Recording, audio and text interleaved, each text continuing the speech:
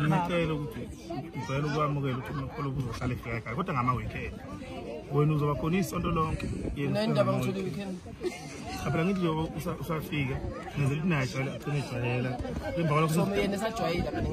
ngizobe se weekend so sihlwanisa amaviki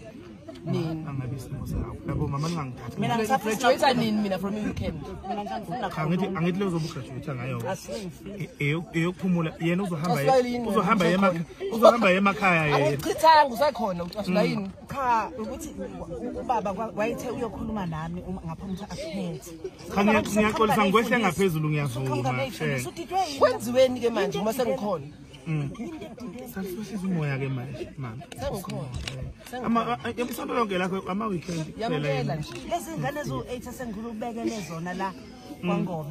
phela sibesifuna sahem so mina ngizofaka lo 2 angithi manje uzoba sifuna 10 nje u2 uzana so kuzona uzona uzosiza mina phumula wena manje hle awuzongithanda phumula angibe ngumuntu